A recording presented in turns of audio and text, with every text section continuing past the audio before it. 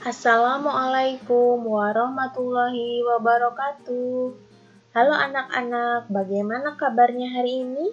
Semoga kalian semua dalam keadaan sehat ya. Hari ini Senin 8 Maret 2021 kita masih membahas tema 8. Kali ini subtema 1 pembelajaran 2. Sebelum kita mulai pembelajaran pada hari ini, marilah kita membaca basmalah bersama-sama. Bismillahirrohmanirrohim. Sudah siap semua ya? Silahkan boleh dibuka buku catatannya dan buku tematik tema 8 subtema 1 pembelajaran 2 halaman 11 dan disiapkan alat tulisnya.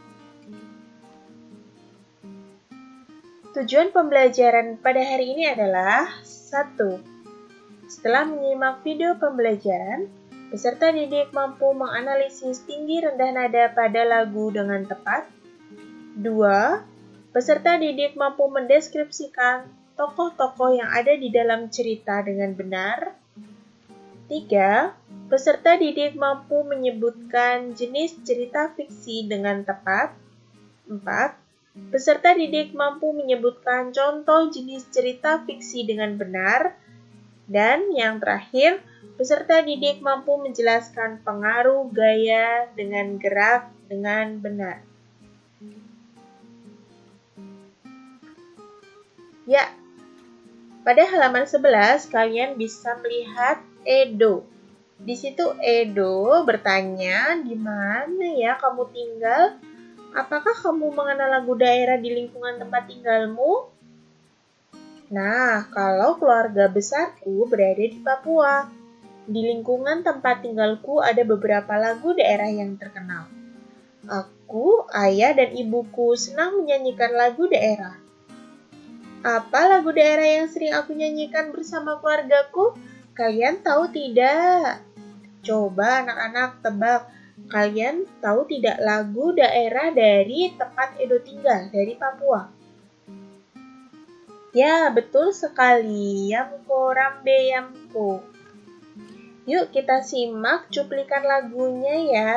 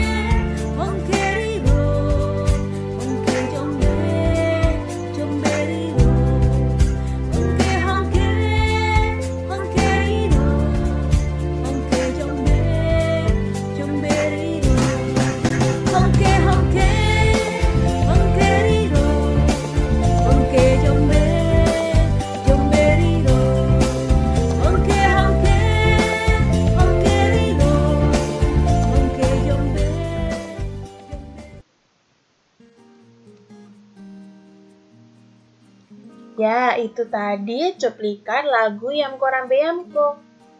Nah, lagu Yamko Rambe Yamko ini merupakan lagu yang bertemakan peperangan. Lagu ini menceritakan tentang pertikaian yang terjadi di dalam negeri. Pelantun lagu ingin menjadi bunga bangsa atau pahlawan yang rela berkorban sampai mati untuk mempertahankan negara Indonesia dari penjajah. Yamko Rambe Yamko dinyanyikan dengan nada dasar C sama dengan Do. Kemudian birama lagunya 4 per 4 yang artinya dalam satu birama terdapat empat ketukan.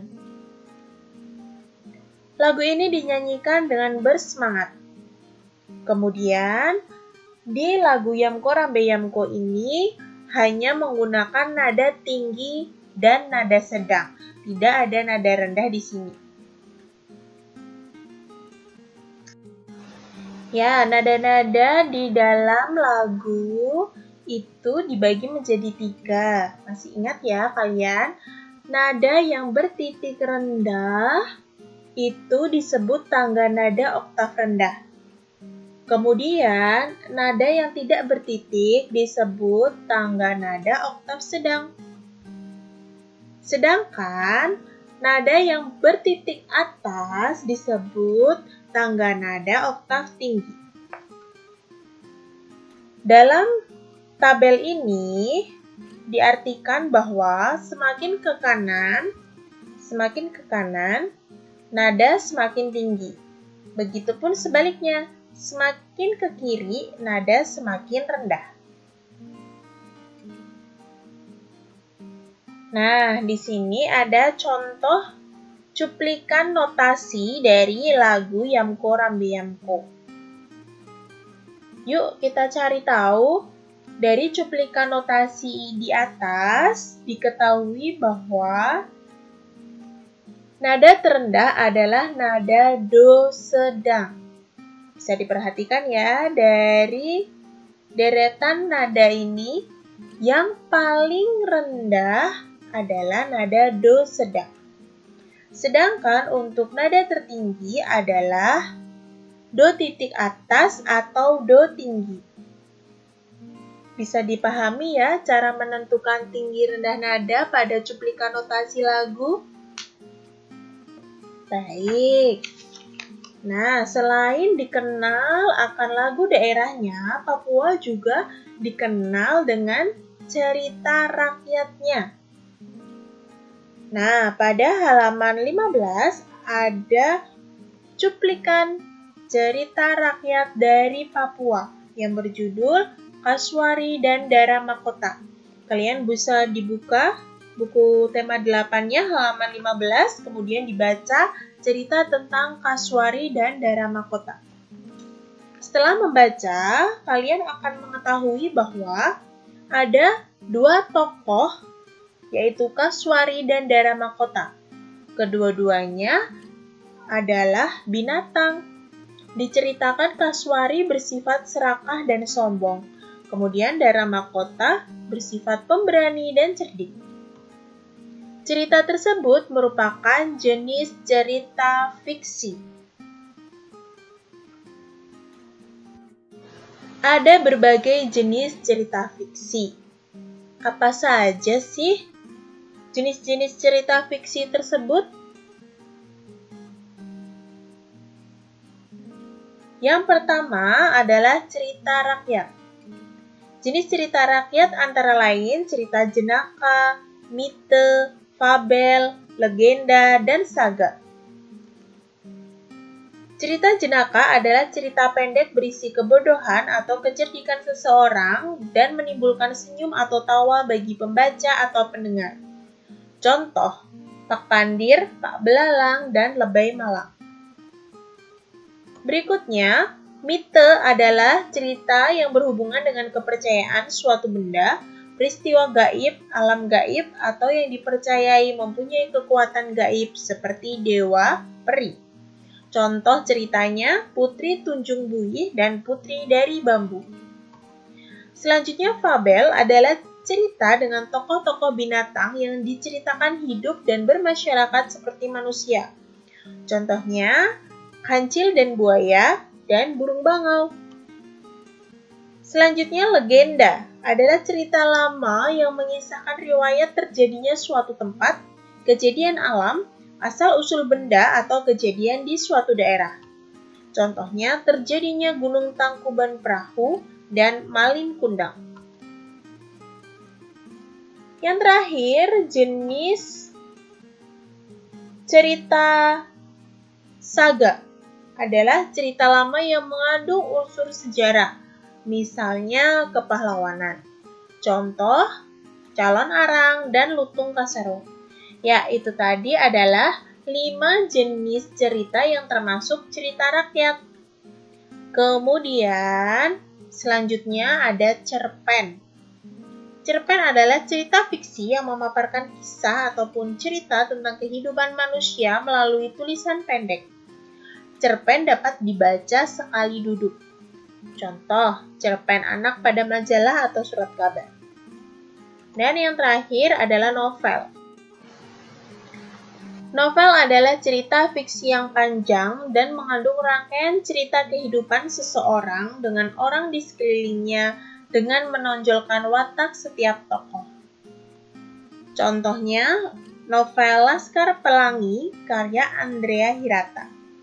Ya, jadi, kita tahu bahwa cerita fiksi terbagi menjadi tiga, yaitu cerita rakyat, cerpen, dan novel.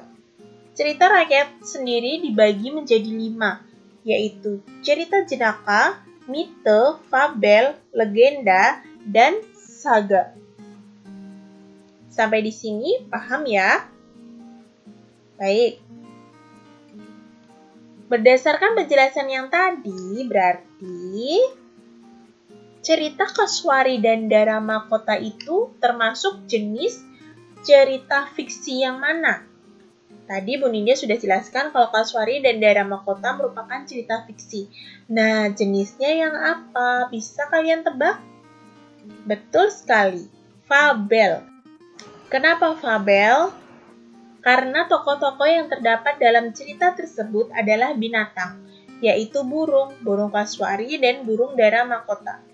Mereka diceritakan hidup, bersosialisasi, dan dapat berbicara layaknya manusia. Nah, jika burung kasuari dan dara mahkota dalam cerita di depan tadi memiliki sayap untuk terbang, dengan terbang, mereka dapat menuju tempat tertentu. Demikian juga kita, manusia. Manusia sering kali menggunakan sarana transportasi seperti sepeda, sepeda motor, mobil, pesawat, dan kapal untuk menuju tempat tertentu. Nah, kalian bisa melihat di sini Edo baru saja pulang sekolah dengan mengendarai sepeda. Jalanan yang cukup ramai, di jalanan yang cukup ramai, Edo mengurangi kekuatan saat mengayuh sepedanya. Laju sepeda menjadi lambat. Dan ketika di jalan lengah, Edo menambah kekuatan saat mengayuh sepeda, sehingga laju sepeda menjadi cepat. Nah, saat Edo mengurangi kekuatan dalam mengayuh sepeda, Edo telah mengurangi gaya, sehingga sepeda pun bergerak lambat atau pelan. Sebaliknya, saat Edo menambah kekuatan dalam mengayuh sepeda, Edo telah menambah gaya, sehingga sepeda pun bergerak cepat. Kalian bisa membaca percobaan di halaman 20 tentang percobaan mendorong meja sendiri dan bersama teman. Di situ, percobaan pertama kalian bisa melakukannya di rumah. Di rumah, kalian bisa mendorong meja dengan sendiri dengan kekuatan penuh. Setelah itu, kalian boleh meminta bantuan kakak atau adik, atau ayah atau bunda mendorong meja bersama-sama dengan kekuatan penuh. Rasakan perbedaannya. Meja yang didorong oleh seorang anak dengan kekuatan penuh dengan meja yang didorong oleh dua orang anak yang sama-sama menggunakan kekuatan penuh berbeda.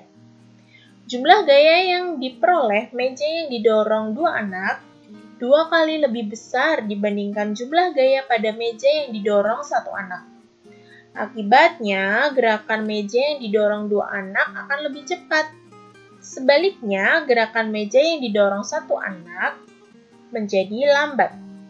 Jadi, sesuai percobaan itu, kita bisa memberikan kesimpulan bahwa gaya berpengaruh terhadap kecepatan gerak benda. Apa? Ya, betul. Gaya berpengaruh terhadap kecepatan gerak benda. Sampai di sini, insya Allah sudah bisa dipahami ya. Ya, kesimpulannya hari ini kita sudah belajar tentang satu Tinggi rendah nada 2. Tokoh pada cerita fiksi 3. Jenis cerita fiksi 4 contoh cerita fiksi, dan yang kelima, pengaruh gaya pada gerak. Selanjutnya, evaluasi. Pahami materi dengan baik dan tanyakan jika menemui kesulitan. Kerjakan evaluasi melalui link Google Form yang telah dibagikan. Terima kasih. Tetap terapkan protokol kesehatan disiplin waktu dalam belajar dan beribadah, dan bantu orang tua di rumah ya.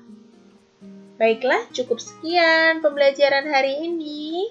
Sebelum kita akhiri, marilah kita membaca hamdalah bersama-sama. Alhamdulillahirabbil alamin.